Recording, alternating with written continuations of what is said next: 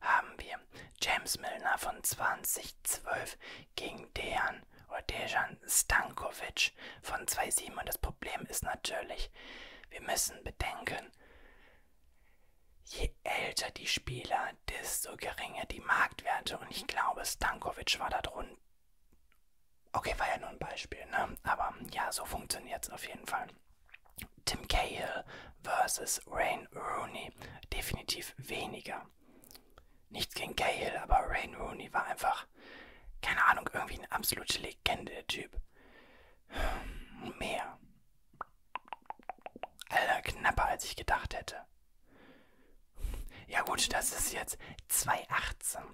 Lionel Messi, was, boah, ich weiß gar nicht, was das war, waren das 180? 180, ja.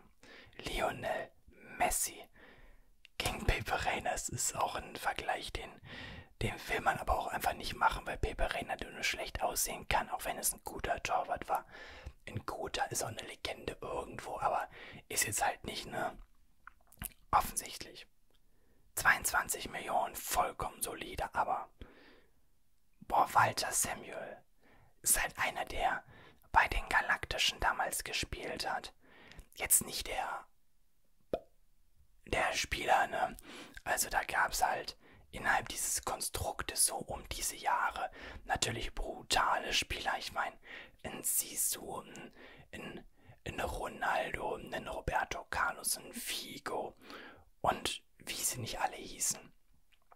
Aber Walter Samuel oder Walter Samuel, boah, was war denn, was hat der für einen Marktwert? Ich sag mal weniger. 25, nein. Das Ding ist halt, ich, das Problem bei mir ist, ich habe halt viele Taxes noch im Kopf. 31 müsste er drüber. Was, als ob er 30 war. Ich habe halt immer so einige Sachen im Kopf. Zum Beispiel bei Engländern denke ich mir so, okay, England, weil halt England teuer. Und je nachdem, welche Spieler halt weniger. Zum Beispiel USA sehe ich niedriger. So. Aber bei mir ist im Magen erstmal so, könnte der vielleicht mehr gewesen sein, weil der von, bei Manchester United gespielt hat. Carlos Tevez ist safe mehr. Es muss 40, 50 Millionen sein, genau. Ihr kennt das ja auch, Rain Rooney hatte 65, ne? Äh, ihr kennt das ja auch jetzt. Die Engländer zahlen zum Beispiel deutlich über Marktwert. Gleichzeitig ist ein Spieler, der einen Namen in einem in einer, je nachdem wie ein Name ist, halt mehr wert ist gefühlt. Also wir haben ja dieses auch dieses Beispiel mit, wenn Tim Kleindienst Tim Small Service heißen würde, dass er dann das Dreifache auf gut Deutsch gesagt mehr wäre. Michael Carrick hat weniger auf jeden Fall mehr als Rain Rooney. Boah, ich muss übrigens gestehen, ist dieses Trikot hier, dieses Trikot mit United Logo und äh, Chevrolet von Adidas, fand ich damals ultimativ geil. Habe ich auch lange Zeit überlegt zu holen. Das war das geilste Trikot war, glaube ich, das erste oder zweite Jahr, wo Schweinsteiger bei United war. Pizarro müsste weniger sein. Zwölf finde ich aber ein bisschen sehr wenig. Oh, Dimitar Berbatov. Dimitar Berbatov ist so ein Spieler.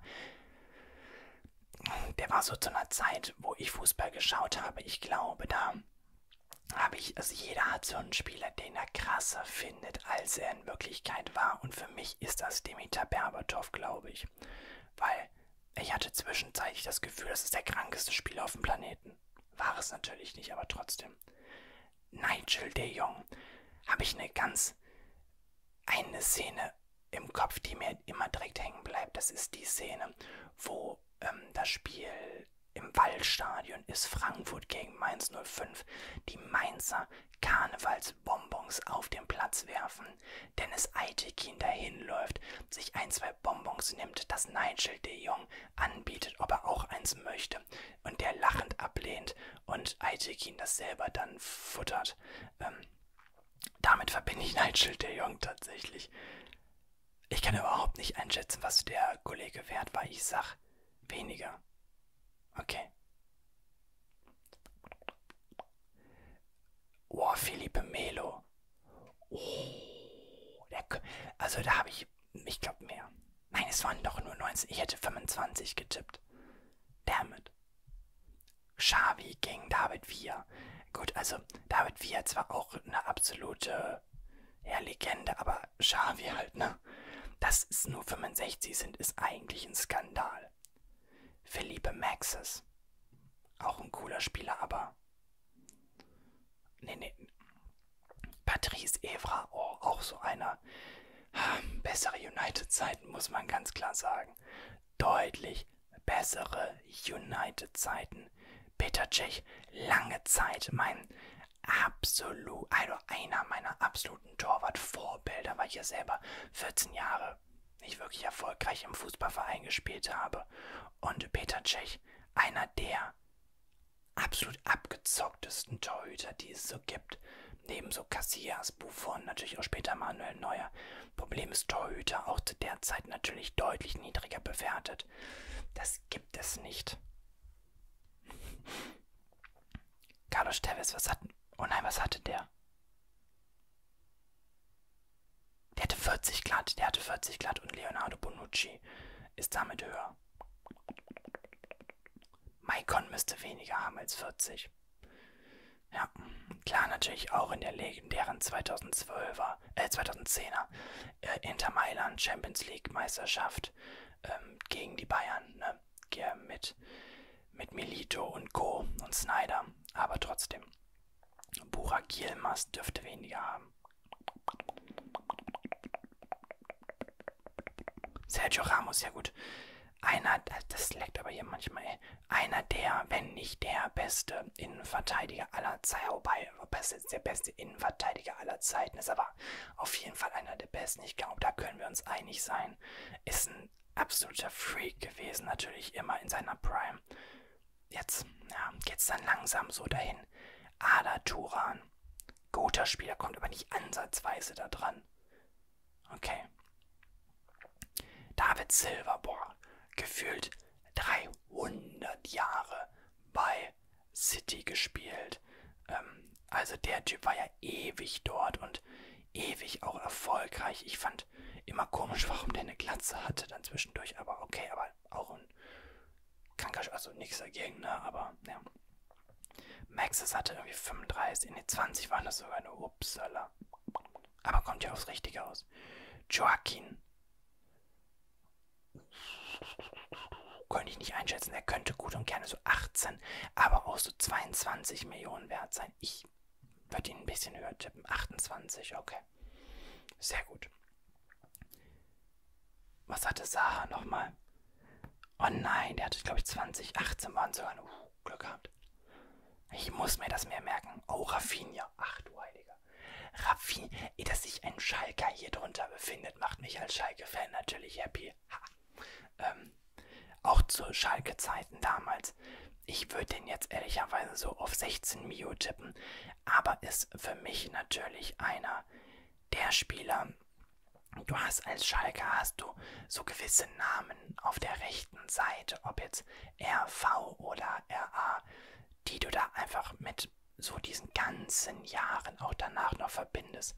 Rafinha, Oshida, dann davor auch ein Jefferson Verfan und noch so ein, zwei weitere Namen. Ja. 12 Millionen auch nur. Okay, trotzdem, äh, auch bei den Bayern danach noch natürlich. Ähm, Thiago Motta, absolute Legende. Alter, nur 16, ich hätte ihm auch mehr gegeben, aber war dann auch noch eine andere Zeit. Simao. Ist er wirklich mehr als Thiago Motta wert? Wahrscheinlich ja. Ja. Naja. Geschmackssache, ne? Carles Puyol oder Charles Puyol. Ach, das ist das Ding ist, wir reden jetzt hier mittlerweile von 2007. Würde ich Puyol jederzeit Simao vorziehen? Ja, safe, Alter. Puyol hat dir auf dem Platz die Seele dagelassen für den Sieg. Und nicht mehr und nicht weniger. Der war aber auch gleichzeitig ein geiler Typ. Wahrscheinlich ist er weniger sogar wert, aber okay, Glück gehabt. Aber 5 Millionen, Alter. Wer denkt noch heute an Simao und wer denkt an Puyol? Mario Talk. Wayne Rooney, gut, andere Zeit schon und dann auch andere Positionen, weil natürlich Puyol in einer Position, die dann meistens eher weniger bezahlt wird. Robert Lewandowski muss mehr haben. Lange Zeit einer der besten Neuner Stürmer dann auf dem Planeten, wenn nicht teilweise sogar der beste, auch einfach und für mich nach wie vor in der 220-Saison dann des Ballon d'Ors beraubt, weil der eben nicht vergeben wurde. Bleibe ich bei. Cesc Fabregas, klasse Spieler, kommt aber nicht ansatzweise an Levi dran. Äh, weniger. Okay, wir machen uns immerhin nochmal hier. Marquisio. Boah, das ist so ein Spieler, den kann ich gar nicht einschätzen. Ich würde sagen unter 25, 31. Ich musste aber auch die Schnauze aufmachen. Ich musste ja die Klappe aufmachen und sagen, hey, wir machen uns jetzt nochmal richtig 17 Punkte. Und damit möchte ich es auch für heute belassen. Ich hoffe, dir hat es ein wenig gefallen. Wenn ja, schreib mir doch in die Kommentare, ob ich das wiederbringen soll. Und vor allen Dingen vielleicht auch andere. Schreib es gerne rein und ich hoffe, dir hat es gefallen. Und wir sehen uns natürlich beim nächsten Video wieder. Bis dahin, mach's gut, hab einen schönen Tag. Ciao.